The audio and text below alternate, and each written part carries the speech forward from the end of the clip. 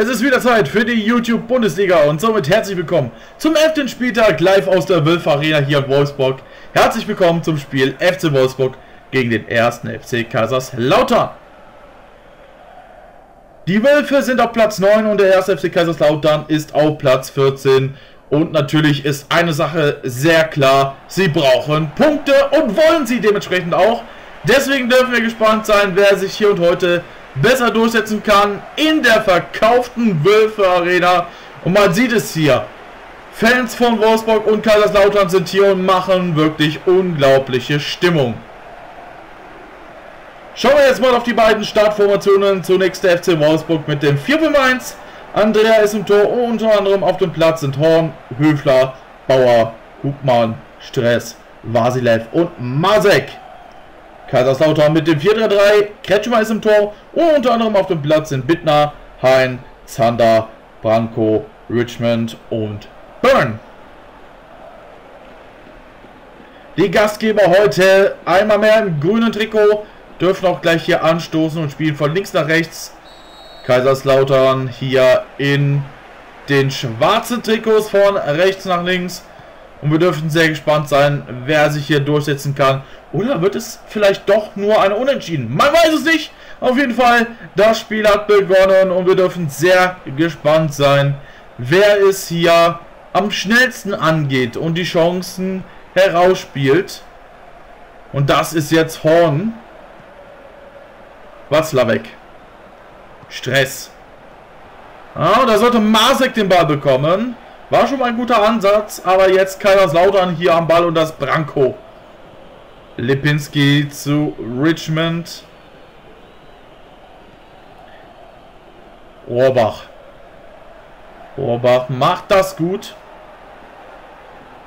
Rohrbach macht das weiterhin gut und das schießt da. Und der Ball landet ohne Probleme bei Andrea.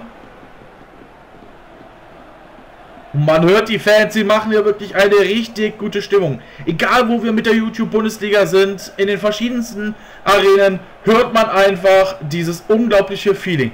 Egal, ob das jetzt in der Rot-Weiß-Arena vom FC Renetopia ist, hier bei den Wölfen, in der Wölfe-Arena, im Stadion an der Friedhofstraße und da haben wir gerade ein Foul gesehen und die Fans reagieren dementsprechend auch, aber der Schiedsrichter lässt weiterspielen. Ja, soweit ich sagen wollte, es gibt überall, in jedem Stadion, einfach super Stimmung. So, und jetzt müssen wir darauf achten, was die Wölfe hier anstellen. Jetzt gar nichts mehr, denn Rohrbach hat den Ball. Branko jetzt. Lässt sich da von Watzlawick auch nicht abdrängen oder war es Masek? Ich bin mir gerade gar nicht so sicher. Jetzt Burn, der den Ball hier bekommt. Flanke, aber keine weitere Gefahr hier. Jetzt muss der Ball aber auch aus der Gefahrenzone raus. Und das ist Vasilev zu Stress. Da wäre Rohbach gewesen. Der hätte den Ball auch beinahe bekommen. Aber die Wölfe passen soweit gut auf. Das ist jetzt Masek. Ja, Masek 2 gegen 1. Ah, die Abwehr von Kaiserslautern. Die ist in den letzten Spieltagen wirklich richtig aufmerksam gewesen. Und dementsprechend kein Wunder, dass sie da auch jetzt perfekt gestanden haben. Das ist jetzt Lipinski. Zu Burn. Zander. Ah, jetzt kommt die Flanke, Kopfball aber leider in die falsche Richtung. Und leider auch der Falsche, der den Ball am Ende bekommen hat. Da ist jetzt Masek gegen Lipinski. Und Masek kann den Ball dann doch noch retten und zu einem Kollegen spielen. Jetzt aber der Ball weg. Nämlich wieder bei dem ersten FC Kaiserslautern. Und es sind mittlerweile 25 Minuten gespielt. Noch steht es hier 0 zu 0. Zander jetzt zu Richmond. Richmond zu Burn. Jetzt die Frage, kommt er da gut weg? Ja, Kopfball wieder und Schuss. Und jetzt müssen die Wölfe hier aufpassen. Kaiserslautern hat nämlich schon hier gemerkt, dass sie Chancen herausspielen können. Ich würde sogar sagen, also auf dem Papier geschrieben, klar sind die Wölfe besser. Aber wenn man hier nach der Leistung geht, von diesen 30 Minuten, die wir hier schon gesehen haben, dann sind beide doch recht ausgeglichen. Finde ich zumindest. Wie findet ihr das, liebe Zuschauer? Schreibt es doch mal gerne hier unter dem Video, unter die Kommentare. ob ihr findet, dass diese beiden Mannschaften wirklich neutral bzw. ausgeglichen sind. So, konzentrieren wir uns wieder auf das Wesentliche, nämlich darum, wer den Ball hat. Und das ist jetzt Horn. Watzlawick. Das ist Horn und der Ball geht über die Linie. Es gibt Einwurf und das macht Zander. Wir sehen hier den Ballbesitz. 52 zu 48. Wirklich viel Unterschied ist das jetzt nicht. Und das merkt man auch nicht so wirklich. Ah, und jetzt ist der Ball futsch. Bei den Wölfen ist er jetzt. Das ist jetzt Masek. Aber da war keiner, um ihn noch anzunehmen. Somit jetzt Bittner für Kaiserslautern am Ball. Lukas. Zu Rohrbach. Lipinski zu Branko. Lukas zu Richmond. Oder auch nicht. Und irgendjemand war da gerade auf dem Boden gewesen, hat sich aufgeregt. Aber ich habe da, um ehrlich zu sein, nichts gesehen. Die Wölfe inzwischen wieder am Ball. Und das ist Horn. Der jetzt zu Hubmann. Höfler. Der Ball landet wieder bei Kaiserslautern. Lukas. Zu Branko und der zu Rohrbach. Da ist Richmond zu Branko. Zander. Burn. Branko jetzt zur Stelle. Ja, aber was soll er da machen? Er muss ja irgendwas machen. Oi, oi, oi, oi, oi. Und da wurde ein Spieler von Kaiserslautern gefault. Aber alles noch im Rahmen. Was auch im Rahmen ist, ist die Leistung der beiden. 0 zu 0 gibt es und bisher ist das auch verdient. Wir sehen uns gleich wieder. Da sind wir wieder da für die nächsten 45 Minuten hier in der Wölf Arena an diesem 11. schönen sonnigen Spieltag. Und es steht, wie gesagt, 0 zu 0 unentschieden. Und die richtig heißen Chancen, die bleiben uns bisher noch verwehrt. Aber wer weiß, was da so in den Kabinen passiert ist. Man weiß ja nicht, was die Trainer gesagt haben. Ich kann mir aber nur vorstellen, dass es hier wirklich Motivation und Ende war! Und da sage ich, da bleiben uns die heißen Chancen verwehrt. Da kommt die erste durch die Nummer 25, durch Glinka.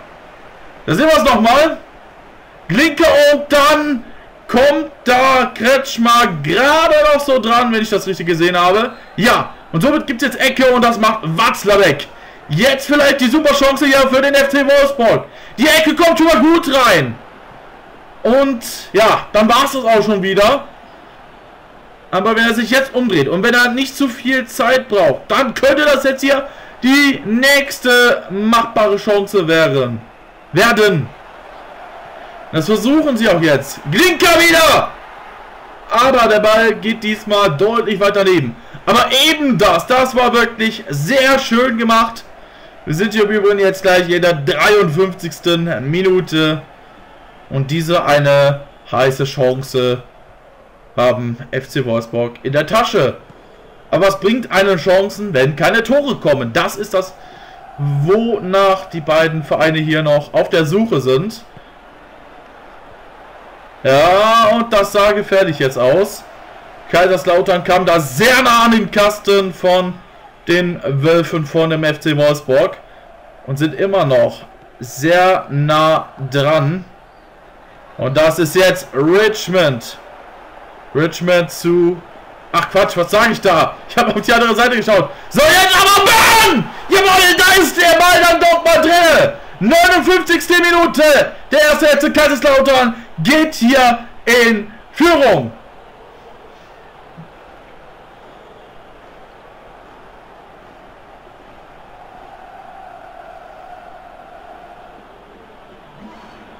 Das steht auch auf der Tafel. 1 zu 0 für Kaiserslautern. Und das haben sie sich verdient. Da sind wir es nochmal. Ein klein wenig durcheinander. Aber da achten sie perfekt drauf, wo die Gegner stehen. Und am Ende, Bums, hat Andrea keine Chance mehr, den Ball hier irgendwie zu halten. Da sehen wir es nochmal. Schöner Schuss hier nach hinten. Ball ein bisschen abgeprallt. Und dann Bums. Burn macht das Ding hier zum 1 zu 0. Super schönes Tor. Ja, die eine heiße Chance hatten zwar die Wölfe gehabt, aber Kaiserslautern zeigt, wir brauchen nicht unbedingt heiße Chancen, sondern Tore. Und deshalb sind sie auch verdient in Führung. 60 Minuten sind hier gespielt. Eine halbe Stunde gibt es hier noch jetzt zu spielen. Und Kaiserslautern, die wissen jetzt, wie sie es am besten angehen könnten. Wollten es eventuell jetzt gerade wieder so versuchen. Aber Lukas verliert jetzt den Ball. Ehemals Richmond hier versucht. Jetzt aber Masik am Ball für den FC Wolfsburg. Man muss aufpassen, dass er den Ball da nicht verliert. Vasilev jetzt. Und jetzt ist der Ball weg. Hein. Lipinski zu Branko. Bittner. Lukas zu Rohrbach. Und das ist jetzt Richmond wieder gefährlich nah im 16er. Ah, sollte die nächste Chance kommen, eventuell das nächste Tor. Aber der Ball etwas zu weit. Und das ist jetzt Hubmann. Watzler weg. Und der Ball bei dem ersten FC Kaiserslautern jetzt gelandet. Und ich finde, das Stadion ist etwas ruhiger geworden. Seit dem Tor von Byrne sind zumindest die Wolfsburger deutlich leiser geworden. Ja, jetzt wird es doch wieder etwas lauter. Man hört die Pfiffe im Hintergrund. Und Kaiserslautern wittert hier die nächste Chance. Kommt hier aber auch die nächste Chance. Ball abgeprallt an einen Gegenspieler. Und zunächst der Versuch, eine Chance rauszuspielen. Vorbei. Futsch. Finito. Klinker jetzt. Ja, prallt den Ball gegen einen Kaiserslautern-Spieler ab. Und Andrea läuft da gerne mal mit nach draußen. Spielt da auch ein klein wenig mit. Aber Kaiserslautern hat den Ball inzwischen wieder. Und versuchen hier jetzt natürlich die Zeit zu überbrücken. 1 zu 0 ist eine knappe Führung. Klar, FC Wolfsburg kann hier immer noch ein Tor machen. Aber zunächst gibt es hier eine Auswechslung. Simba kommt für Richmond. Es gibt eine Ecke von Rohrbach. Und was Consulos kommt für Branko. Meine Güte, was ein Name. Und die Ecke hat nicht so ganz funktioniert. Aber da wollten sie es wieder versuchen. Und das sah sehr nah aus. Aber jetzt hier Wolfsburg wieder im Ballbesitz. Aber Simba bekommt da ganz kurz den Ball. Jetzt der Ball aber futsch. Nämlich wieder bei den Herren in Grün. Und die wollen jetzt die restlichen paar Minuten nutzen, um hier doch noch ein Tor zu machen. Aber irgendwie, irgendwie schaffen sie es nicht. Was Konsolos ist das jetzt? Hier am Ball. Und es bleiben noch wenige Minuten bis zum Sieg hier für den ersten FC Kaiserslautern vorausgesetzt. Und das kann man sich gerne dick und fett markieren. Vorausgesetzt. FC Wolfsburg schafft es hier nicht mehr zu einem Tor. Und Rohrbach wollte hier das 2 zu 0 unbedingt haben. Und jetzt Doppelwechsel. Ilk für Vasilev und Merz für Masek. Also nochmal hier Last Minute gewechselt.